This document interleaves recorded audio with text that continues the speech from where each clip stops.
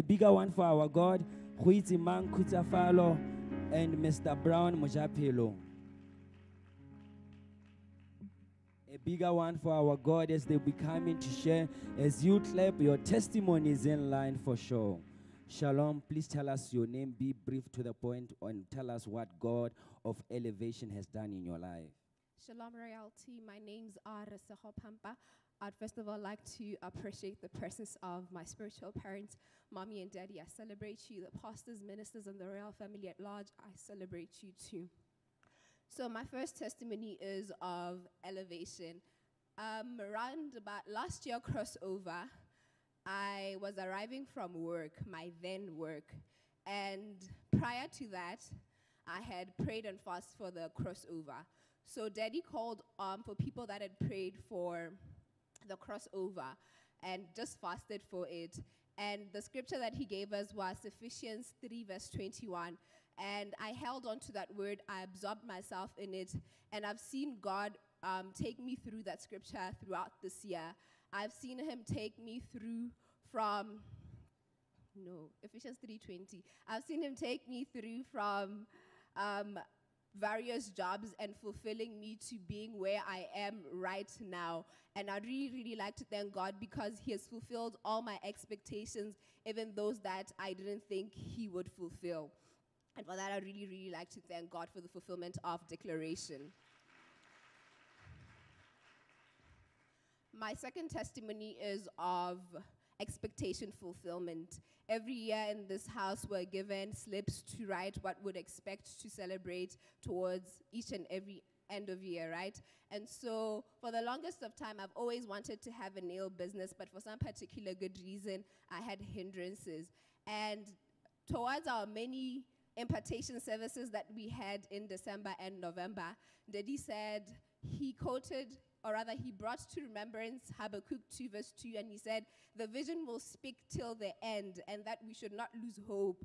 And I really held on to that word. And I remember on the last service of the year, Minister Eunice prayed for me, and she said, um, We pray that, I pray that all your desires are perfected. I held on to that word, and on the 20th of December, I was able to buy literally everything that I needed for my nail business, and I've never felt so fulfilled.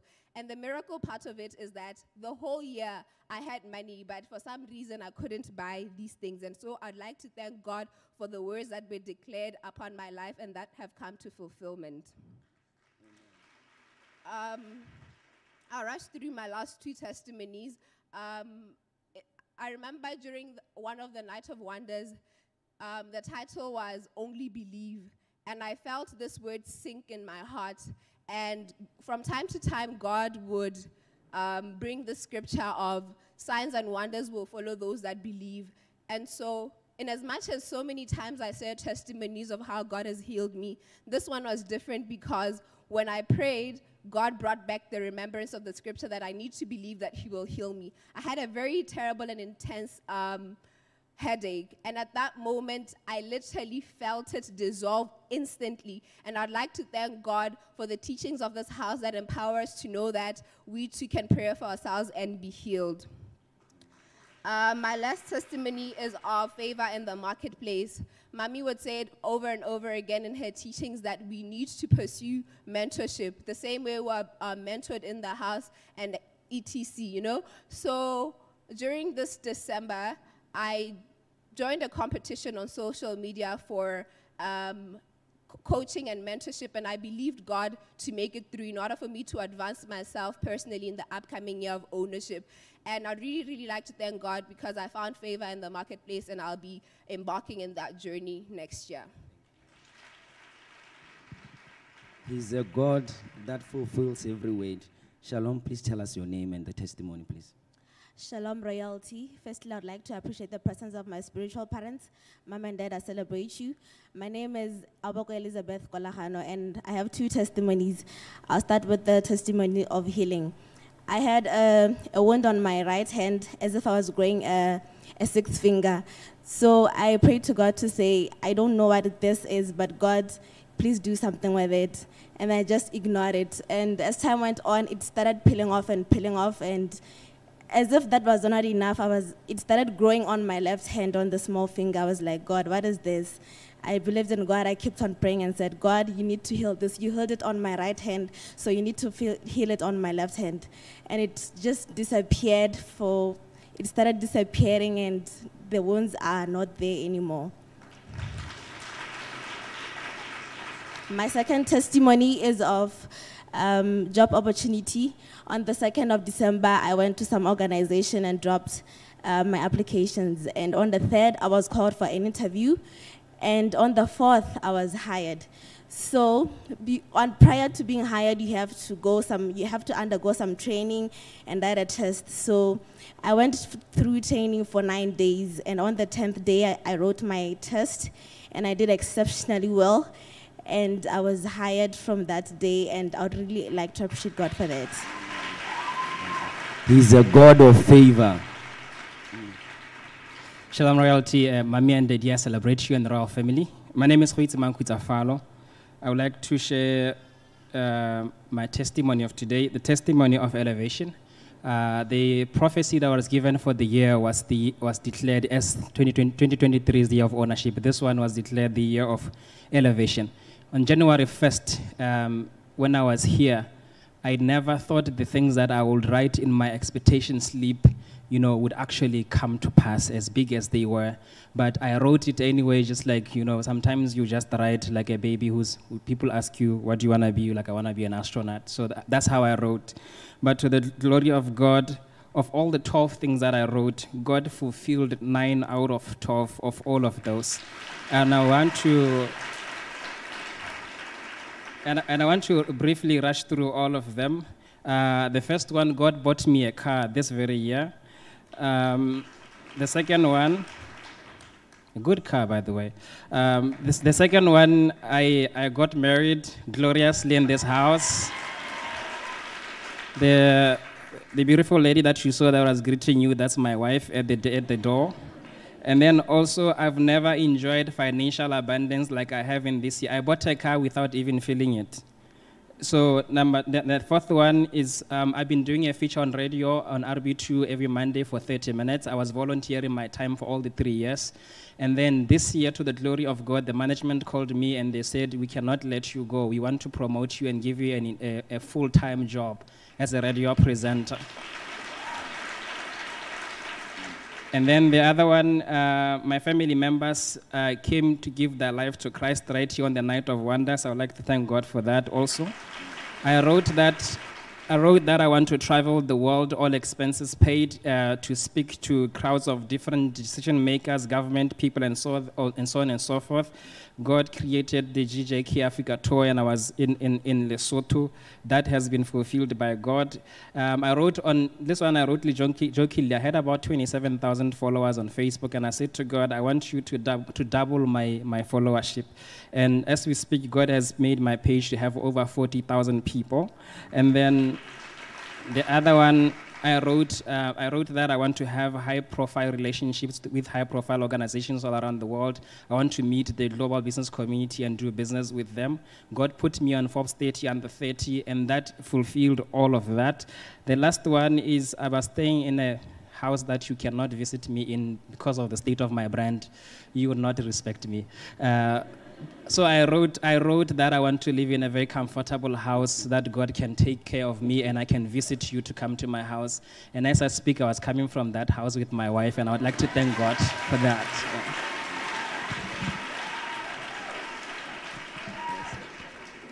Shalom Royalty.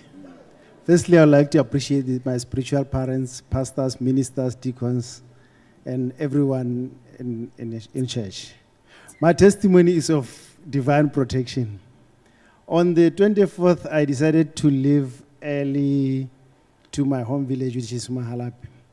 But before I, I left, uh, in the evening, I checked on the, the wheels and everything. I found out that one of my tires is stuck with a screw. Then when I thought of removing the screw, I realized that it is going to obviously lose pressure. So I decided to leave it and check it in the morning if it has lost some pressure or any kind of slow punch. But in the morning, the car was fine. So we decided to, to live with my, my wife to traveling home.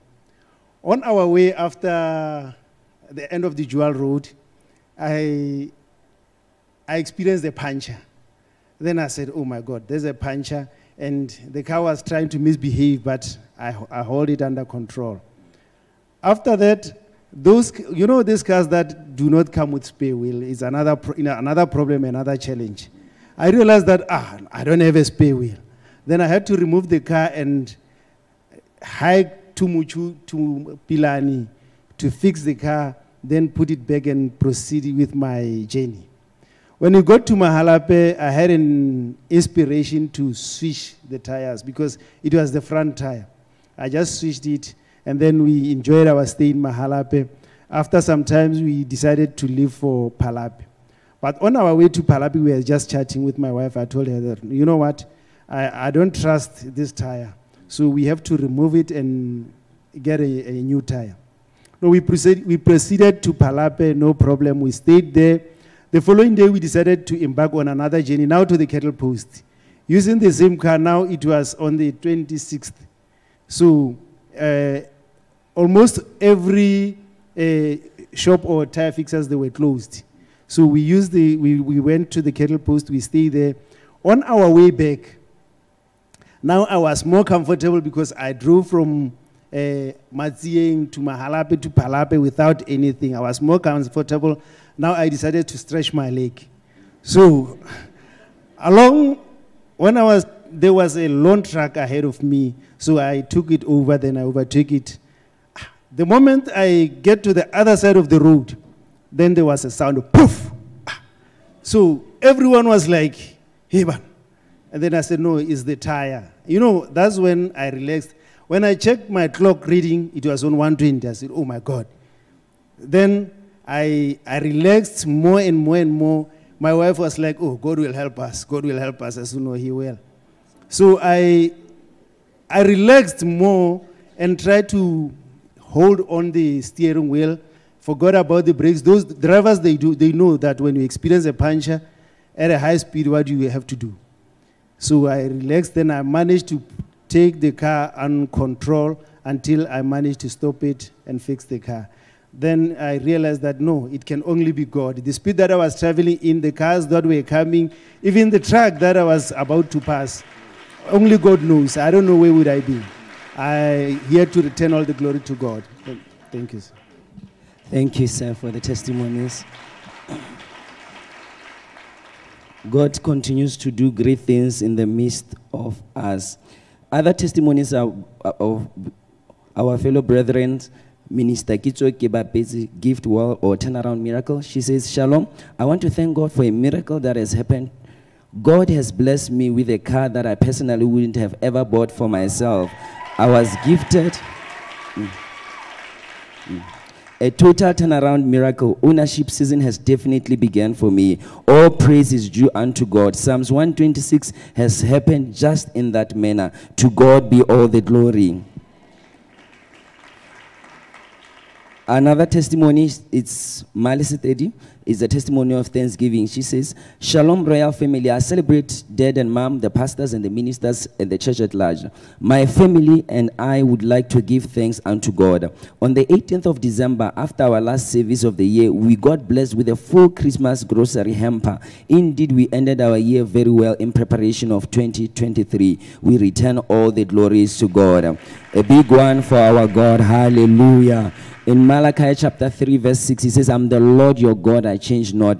The same God who has done it for them is definitely in this place to do it for you. If you open your heart, you shall surely enjoy it in the mighty name of Jesus. With that being said, I want us to lift up our voice and appreciate God for all the testimonies. For whatever God does, you can provoke it by thanksgiving for Him to do it in your life. Let's just lift up our voice of thanksgiving and appreciate God for all the testimonies. Father, we thank you. We bless your name. We give you all the praise. We give you all the adoration, Father, for you are worthy to be praised. Thank you for the testimonies of gift world. You are Jehovah Rapha. You have indeed healed them, oh Heavenly Father. Not unto us, Lord, not unto us, but to you be all the glory, oh Jehovah. We give you all the praise. We give you all the honor. In the mighty name of Jesus, we have prayed. Hallelujah. Our God is an awesome God. As we proceed with the program, I want us to tune to the screens as we reflect and see the faithfulness of God in Royal. Uh, Give God a big clap offering.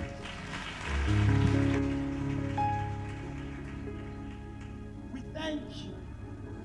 As the scriptures would say, the Lord God doeth nothing except that he reveals it to his servants, the prophets. Thank you for speaking to us as a church that we are entering a season of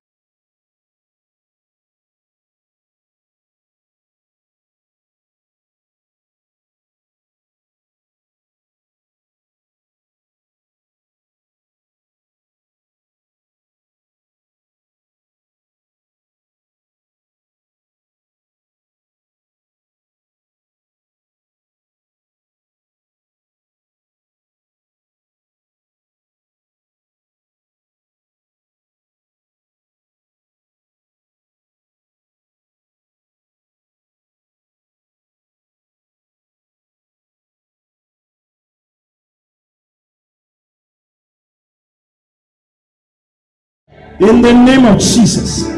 Just as you helped the Israelites to overcome the Canaanites, the Jebusites, and all that occupied their Canaan, so shall you help us to overcome every stranger in our land of ownership.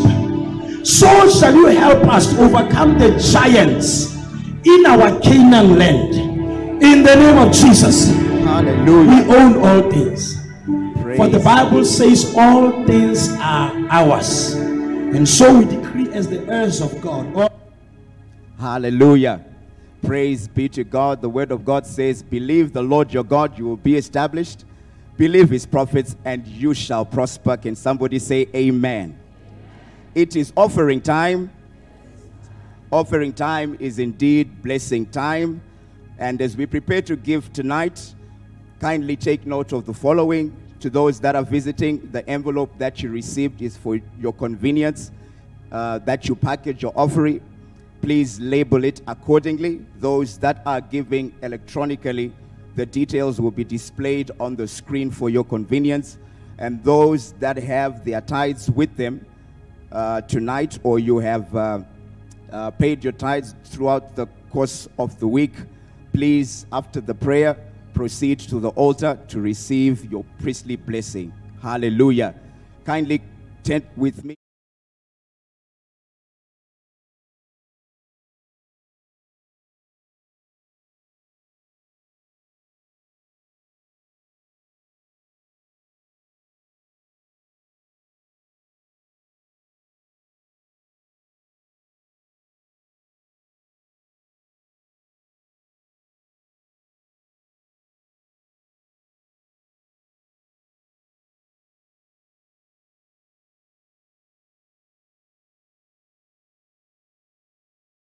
Philistines envied him. Hallelujah. For Isaac to enjoy enviable blessing and possessions in that time, he did two things. Number one, he heard the instruction of God and obeyed that instruction, not to go down to Egypt, but to remain in the pre- presence of God. Number two, he sowed when it did not make sense to sow. So I would like everyone that is expecting in this season of ownership to possess your possessions, to keep your ear on the ground for every instruction that God gives you tonight. Whatever He tells you to sow, sow it. Hallelujah. With that understanding, kindly rise up on your feet with your offering as I pray.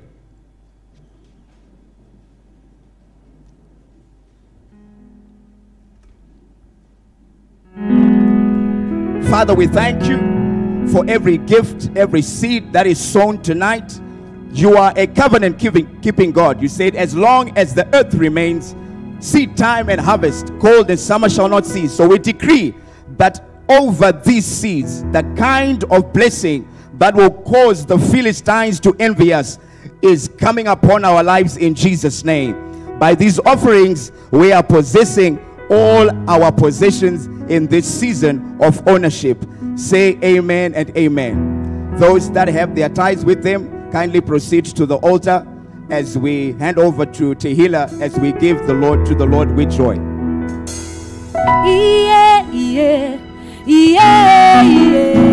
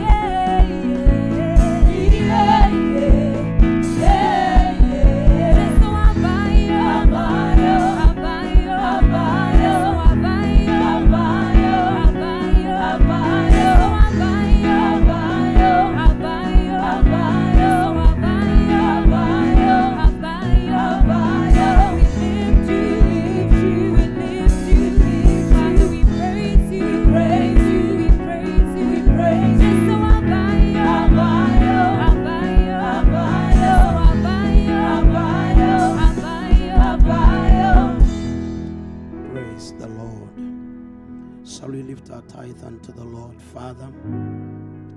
We thank you for the privilege, the opportunity to honor you with our substance.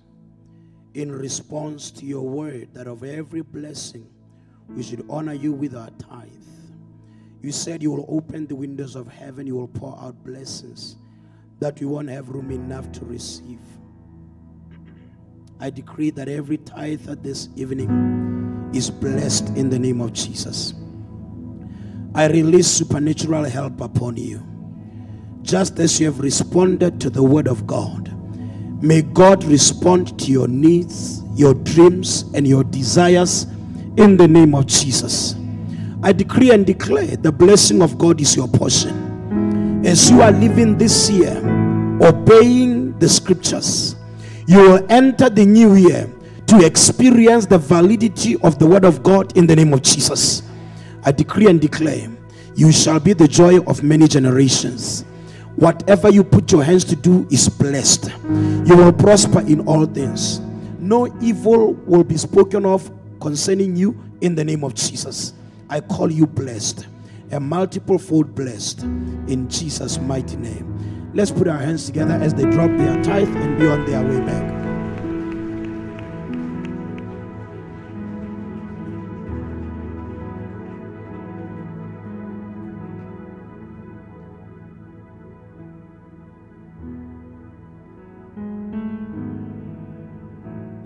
Comfortably seated. Ladies and gentlemen, at this moment we'll have a special act by our very own.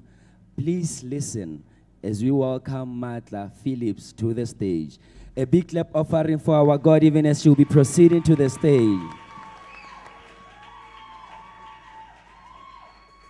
Are you happy to be in the house of the Lord?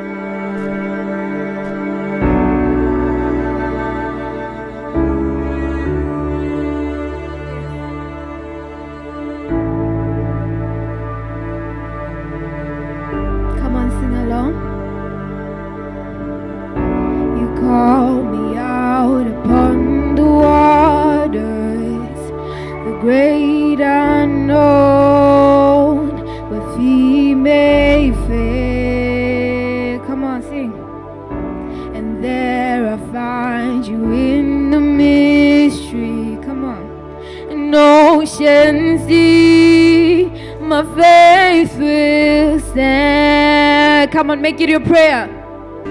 And I'll call upon your name, Jesus, and keep my eyes above the waves. When oceans rise, my soul rests in your embrace.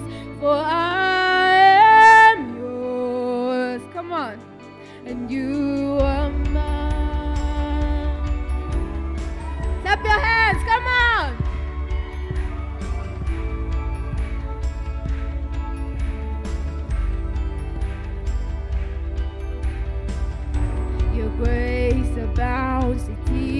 waters, your sovereign hand will be my guide. Come on!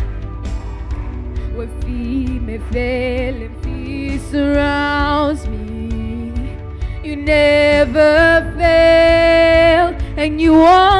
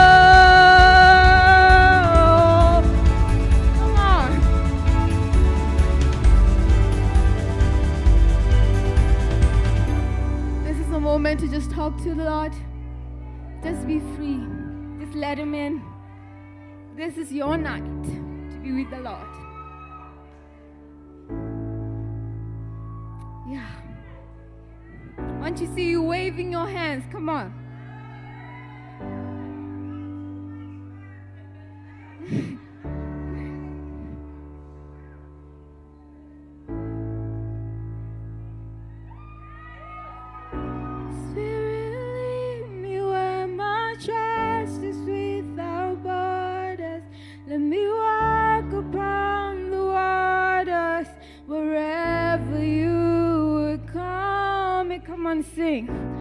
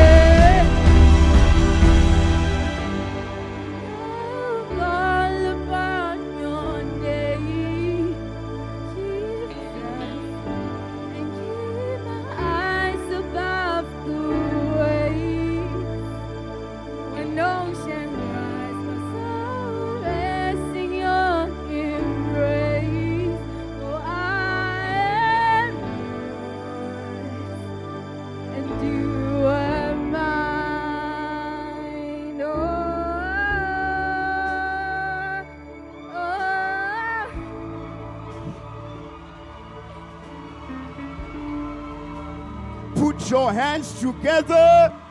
Celebrate the Lord Jesus.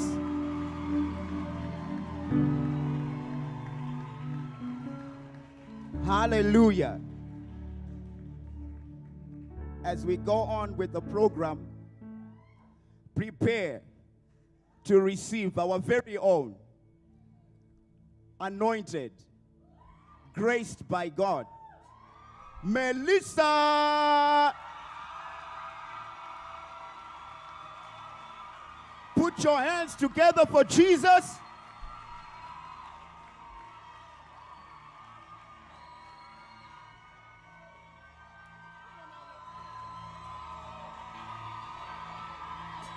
Hallelujah.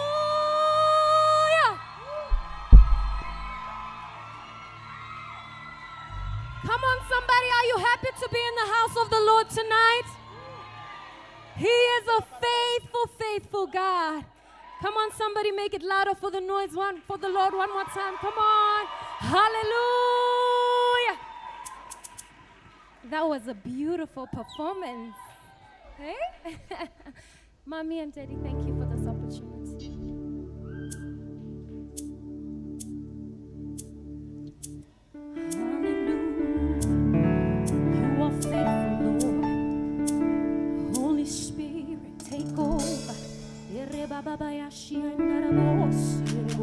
Thank